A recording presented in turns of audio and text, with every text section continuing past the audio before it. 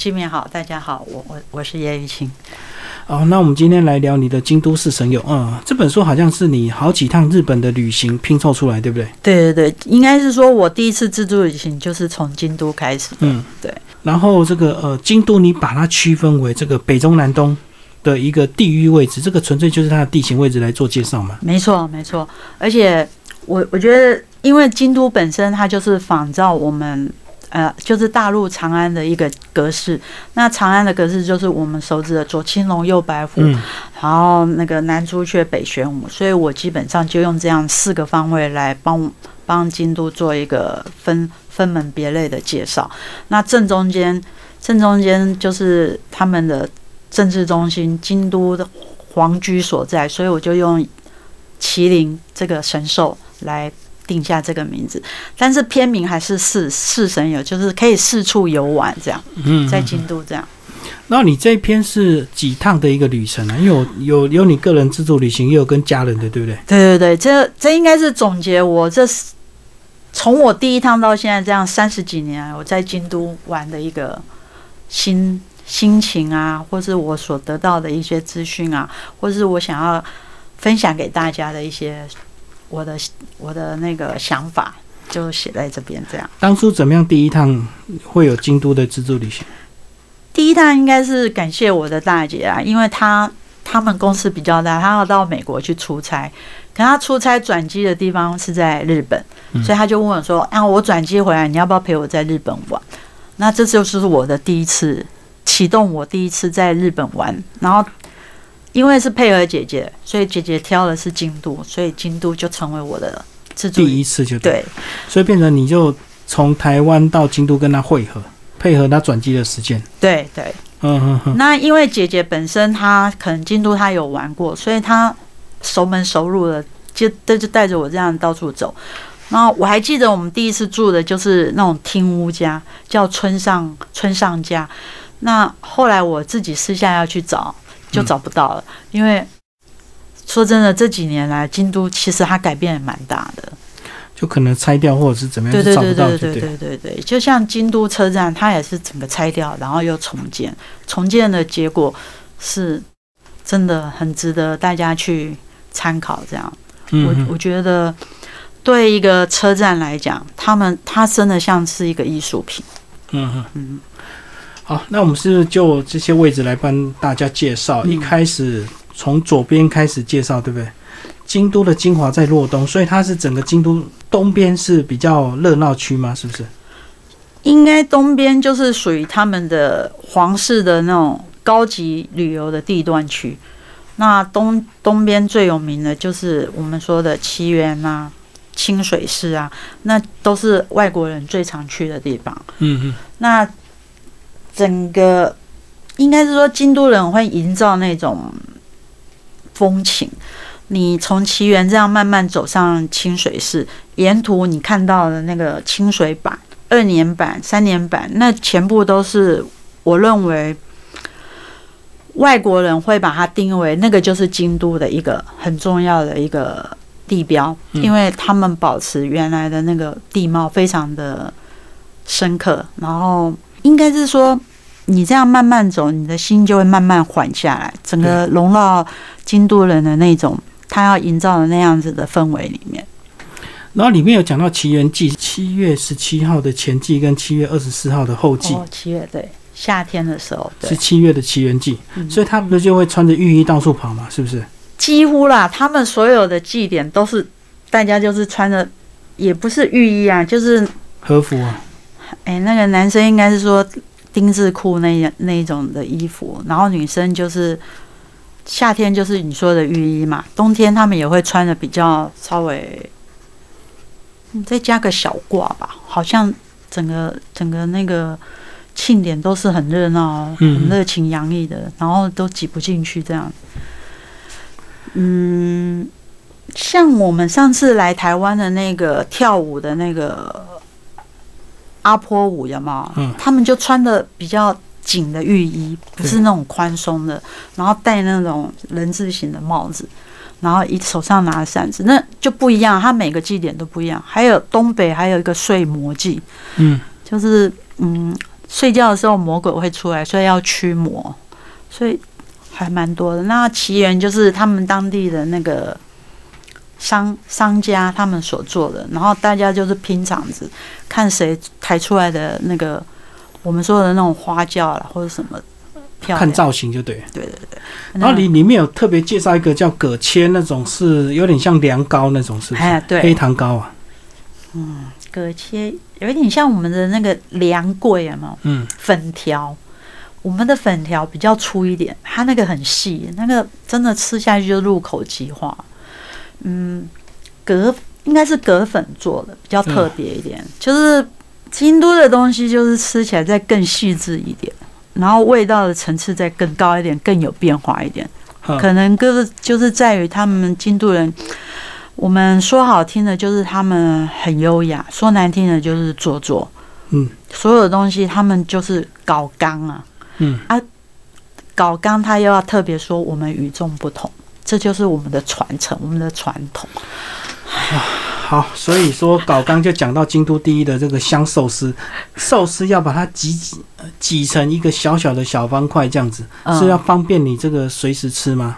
对对，而且保存那个鱼的鲜度，我们都觉得生鱼片就很好吃，对不对？对啊，可是它也是用生鱼去，应该是呃把它压缩，用那个酱油什么，让它整个味道再更浓缩一点，然后浓缩又跟醋拌合在一起，就再也不分离了。嗯，像那个我们吃的握寿司，他还说醋饭里面要有空气，对可是这个完全没有空气把它，压实就。压实了，然后所有的那个味道，鱼肉的味道跟酱汁的味道，就完全就跟他们的醋饭合在一起。那你吃怎么样？哎、我吃了我会上瘾，哎，我不知道，可是姑姑他们吃都说还好，嗯，可是我吃了真的很想再吃，就很紧密的寿司那就是种口感，不便宜，那那真一小条，一小条也要三四千呢。嗯，日币，对，哇，那很贵。是是不便宜，因为就是搞钢啊，它的它的做工至少比那个现切新鲜的那个握寿司，然后这样做给你吃，这个只是时效性而已，这个是搞钢的。嗯啊，对日本对京都人来讲，搞钢的东西，你就是要用钱去换来。然后外面又很多包装，这样哎，对，包装的很漂亮。是没错，好，我们来介绍清水寺啊，嗯清水寺就是起源旁边嘛。对。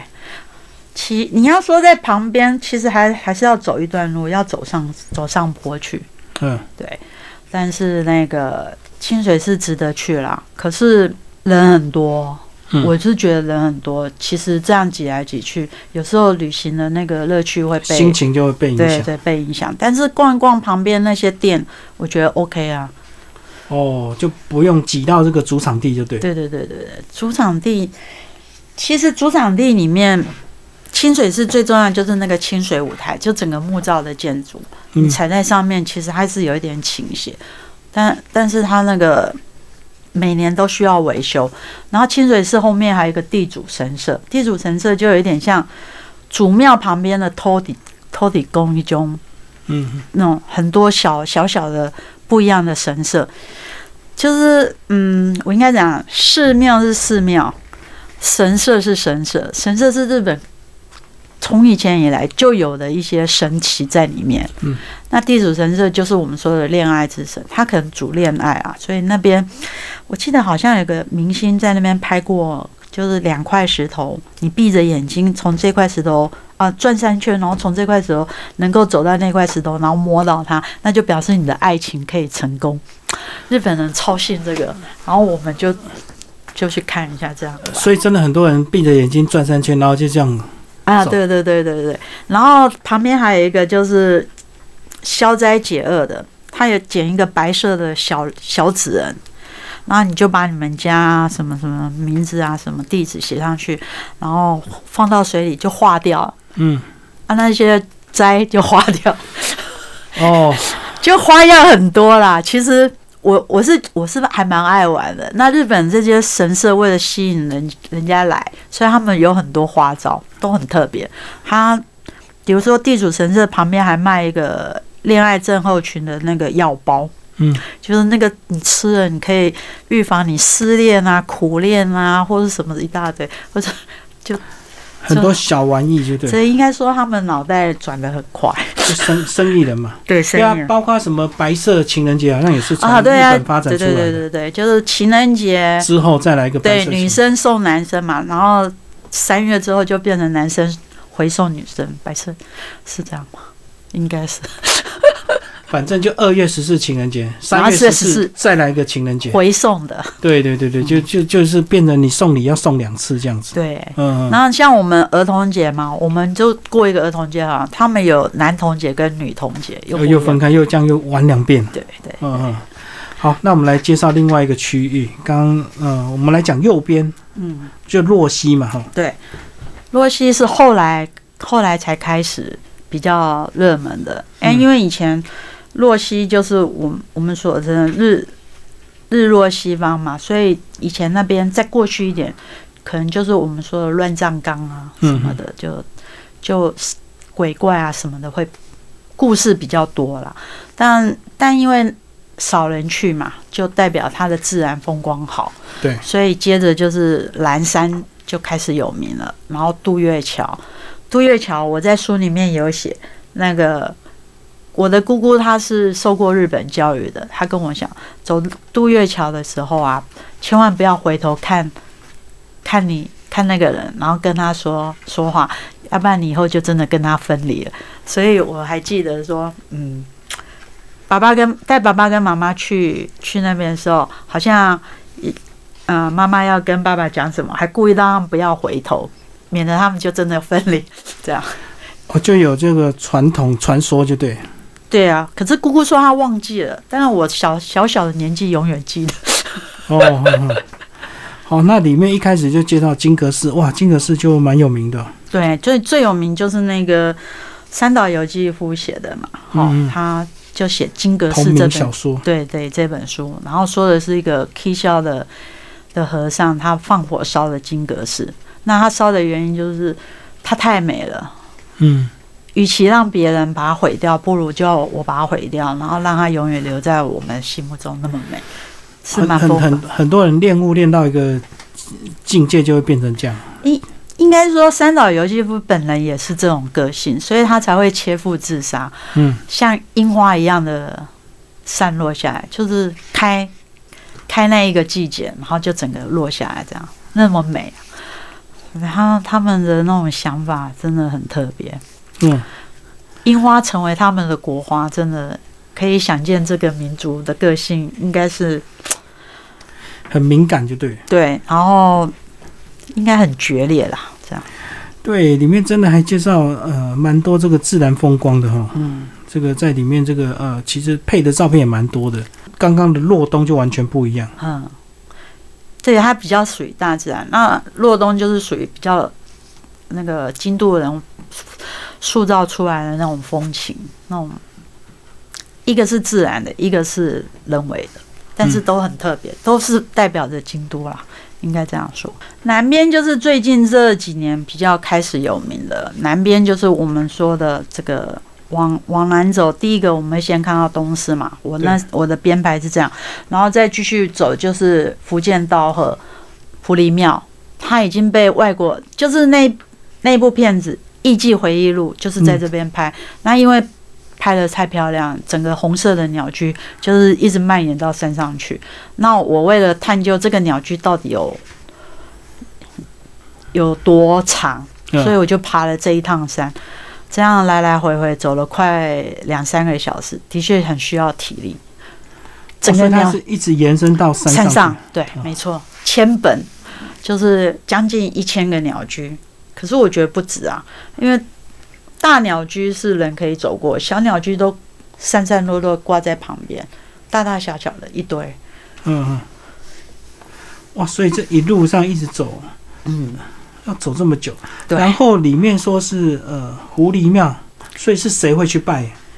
商人，嗯，他主要就是拜让生意兴隆的，管管钱的。狐狸就嘴巴咬着钥匙，它就是开启财富的钥匙。嗯那像他们，他们也会有祭典，就是播种的时候，其实那个稻鹤你有吃过吗？就是那个我们吃寿司里面豆皮寿司有吗？嗯，它那个就是他们的那个样子出来，就是捆捆捆米的那个竹包的做的那个样子，所以我们就会有豆皮寿司这个形状出来。哦，是因为稻荷剂，对，然后那个狐狸也喜欢吃嗯，豆皮的寿司，所以可能就是用这样子，然后延伸出来。应该每个地方都可以吃到啦，只是说配合了他们的那个形状会比较多一点。好，那里面还有一个叫是呃四田屋啊，然后就讲到历史名人坂本龙马，对不对？嗯，这里已经走到那个南方的那个福建桃山城那边了。那最有名就是版本龙马，那那应该是比较接近这个幕府时代的明治维新的明治维新，嗯对，他们是维护皇权的，然后要跟幕府将军对坐，这样。嗯那要要其实要蛮欣赏他们的历史的话，就可以可以去走这一趟。京都有特别为坂本龙马设计一系列的活动，就是版本龙马在京都的所有的地方，甚至他遇害的地方，都有做盖章的活动。哦，集戳章啊，集戳章，对他们很喜欢集戳章，对，嗯，对就跟很多铁路这车站一样，对邮戳。对对嗯啊，里面在哦，所以宇治就在南边了。对，宇哦治就宇治是来自于那本小说，那个《源氏物语》，嗯那就是我们说的伟大的爱情故事，跟我们的《红楼梦》一样的伟大嗯，哦，它也是一个蛮史诗般的一个著作，嗯对不对？对对对，嗯。然后宇治应该最有名，来台湾这个蛮多这个绿茶的嘛，宇治相关产品。对，就是茶。你其实你一下宇治这个火车这个小站，你空气中飘来全部都是抹茶的香气。嗯，然后整个大街上都是茶庄的经营的商铺，然后他们也都很热情，欢迎你进去，然后我们随时给你奉上他们他们觉得他们今年最好的、最新鲜的、味道最棒的，然后你喝个茶，然后吃个点心，这样然后在那边应该可以吃到很多抹茶相关的产品？超多的，连意大利面都是抹茶，然后蛋糕不用说了，也是抹茶。嗯，你可以想见，全部都沾上抹茶。然后我们那边有一个中村藤屋，那那一家的确是很值得进去吃一下。他们的应该说他们的抹茶甜点非常的有名，嗯，是是好，我们来介绍北边。北边就是，嗯，目前我觉得大家去京都呢，很少人走到北边，是蛮可惜的。北边就是两大，我觉得比较重要，就是贵船神社跟鞍马寺。嗯，但是在往贵船神社跟鞍马寺之前，你会到一个下压神社。下压神社就在森林里面，它有一个鸠之森，那个森林里面还有一个叫做和合神社。是美人美人神社，就是它的它的会马就是一个镜子，然后喝他们水会越喝越美，所以我也买来喝了。哦，所以你刚刚说比较少人去，是因为都是神社，所以一般人比较没有兴趣，是不是？对，就觉得拜来拜去都一样。那其实他们其实很特主别，事的神都不一样。真的对。嗯然后应该是说日本人很会营造他们神社的这些氛围，所以你你去的时候，你不会觉得枯燥。我反而是觉得寺庙。寺庙可能比较感觉比较庄严，神社就感觉很清冷这样。那像那个我走到贵船神社嘛，他当初就是好像是那个什么大国主命的妈妈呢，为了找到水源来救助当时缺水的那些百姓，嗯，所以他的船就突然停在那里，停在那里你就觉得，哎、这边可能就有水源，果然一挖水就出来，然后就是就就把他的船留下来，这个地方就叫龟船神社。嗯，然后这边最有名就是水占卜，对，一样啊，你就是跟神社拜拜求拜一，张谱，求一张，求一张，其实也不用求啦，他就是到那个他们的那个卖的那个那个寓所，然后跟他拿一个，然后你就放到水里，水里就会显现出你刚求的那一张的内容是什么。就字就浮出来就对。对对对，嗯，反正这个已经就先写好了，反正就泡上对对对，看你。抽到的是哪一张，然后你就你就呈现出那你。还记得你抽到哪一张？什大概什么内容？我好像是终极，哎，我那一张有留，然后干了它又看不到字了，然后泡水又出现。对泡水又出现。嗯，嗯好，最后就是中间正中间就是皇宫所在，是不是？对，这个应该大家都会去，什么二条城啊那一些的，然后再就是景市场。那我们去的那个时候，天气就是刚好是赏花的季节，所以整个樱花看起来很漂亮。这个赏樱真的还是要去京都，比较有感觉那种氛围出来。然后再来就是京都的厨房景市场，景市场真的你要吃好吃的，你要喝好喝的，或者你甚至想买一些工具啊，送人的那些欧米亚给，在这边都可以，都可以逛得到。而且我觉得东西真的很亲民，CP 值还蛮高的。嗯嗯然后他他们商人脑筋也动得蛮快的。我记得以前我买个糖果很贵，可他现在都会把糖果做一小包一小包，嗯，就是他也帮你包的很漂亮，然后你要送人也不失礼，就就买了很多可以送人。各式各样的糖果，然后都是小包装，就对。对，嗯哼然后为什么要在京都买糖果？他们的那个他们的糖果就是第一个颜色很漂亮，然后味道又清甜，然后包装又好看，送人真的大方，嗯。非常讨喜。最后跟我们讲一下你这呃这几趟的京都游的一些故事，好不好？这个包括你跟你大姐那时候转机到最后，你还约你爸妈一起到京都去玩，这样子。嗯，应该是说京都给我的感觉是，第一个，它当然有历史故事啊。我本身是蛮喜欢听一些这些故事，然后我自己会去找找那个我想要去的地方，比如说里面就有一个秦明神社，嗯，阴阳师嘛，我们我们最常看到就是那小说里面那个阴阳师，呃那安倍晴明的故事，所以我嗯。就会去找他的神社，然后就每一次在台湾都会说啊，我要去京都的哪里去哪里。那再来就是我刚刚说的，京都很适合你三天去玩也 OK，嗯你五天去玩也 OK，甚至你玩，我有一次在京都我玩到十天都 OK，嗯就是它它的内容内涵让你可以。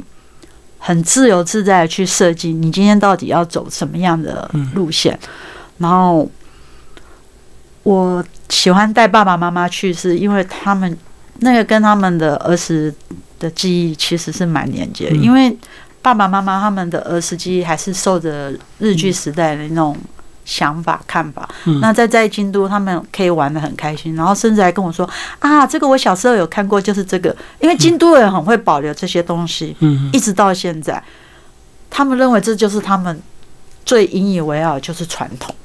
那你带着爸爸妈妈去，他们会感受特别的明显。这样，嗯哦，我也很高兴，我我能在他们有生之年带他们一起去玩，那嗯留下美丽的回忆。当然也有不好的回忆，不好的回忆就是也不是吵架，就是小孩子喜欢管大人，嗯，就觉得爸爸妈妈你买这个干嘛？可是我嗯后悔，我觉得应该让他们买。尽情的买就。尽情买。我我也觉得应该告诉读者，如果你真的突然有孝心，带着你的家长一起去玩，然后他们想买什么，就满足他们吧。嗯，没没有必要跟在那边跟他们斗气说啊，这个不要，那个不要。他们说大概买什么？我妈妈看到的是那一只大狸猫，嗯她说狸猫很可爱，如果放在我们家里的门口，应该很漂亮。嗯，我说那个狸猫是陶做，你买那么大干嘛？一定会撞坏，而且破。对，不好搬。我很后悔，其实就陪他去买去挑也没关系啊，嗯，顶多再建议说妈妈太大我们不好带，我们买小一点。小吃一点。对啊，嗯也是一样啊。可是你看我。我们年轻气盛，我们就打乱了他们去旅游的心情，是其实还是我们觉得我们孝顺，可是对在整个相处过程中，我觉得还是不够不够体贴。太过强势就对。对因为整个行程都是你们在安排，就变成就你们觉得你们要听我们的，对，觉得怎么样比较好，就你决定。对对对，其实是我应该换个立场，是既然要带他们，他们带他们出来玩，就要以他们立场，当然，嗯、对，这个，哎，真的是人走之后才会去回忆，这个实在是。除了狸猫还有什么？那你爸有特别要卖什么？我爸爸反而没有，我爸爸的个性就是你们喜欢他掏钱就对了。嗯嗯嗯，对他，反而是我跟妈妈比较多互动。嗯也不是冲突啊，就互动会比较多。然后妈妈因为她是比较道地的台湾人，她一定要吃到米饭。嗯，可是你在外就等于没吃饱。对，那你在外面玩，不可能照他的吃饭的时间，所以难免会 delay 干嘛。然后妈妈因为那时候可能是类似我们说的糖尿病那个，她急需要补充这些东西，可是我们不懂。哦，我懂你，你们就会觉得逛完之后再吃就好，对对对，等一下就带你。他有实际的需求。对，嗯，但是我是觉得说，我如果再多体贴一点，这些都不会是我旅行上会出现的状况。只能说我们那时候太年轻了，然后又急着要带他们，带他们认为看我们认为我们认为对他们是好的，可是对他们来讲，他们其实可以跟儿女出来玩就已经很好了。嗯，对他们不会在意说你让他看到什么什么，他觉得你陪着他就已经很好。我是觉得心态上我们稍微改变一下，或许就会就不会有那么多我说的这种冲突啦。这样所以他们看到就是走走看看就好了。那你们就会觉得是这个不一样，一定要看到这一间，然后这一间不一样，就一直看一直看对，对对对，就没有顾虑到他们需要的一些时间啊，或者是怎么体力上的安排，就嗯、对。对没错没错。嗯，我我后来就后来我就是会陪着姑姑们去玩，我就会特别注意到这些，比如说我走太快。嗯我就会放慢放慢一下我的脚步，然后比如说他们会去动手去摸这东西，表示他们对这个有有兴趣。兴趣，可是他们勤俭惯了，他们不会去买。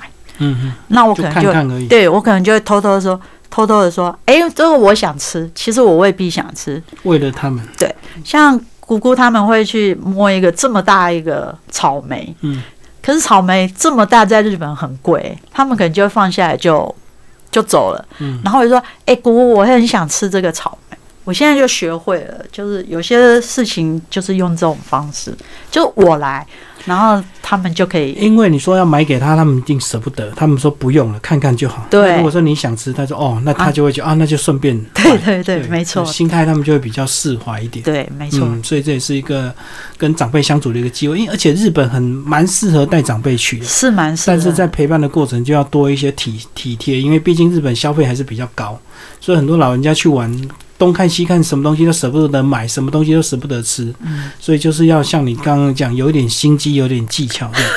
也不是技巧啦，应该是说知道他们的个性是勤俭的，对，那我们要满足他们，嗯，因为他们老人老老年人真的他们很勤俭惯了，对。而且那个物价一看就知道跟台湾差很多，对呀、更买不下去。对一粒就要三四百元，他嗯怎么买得下去？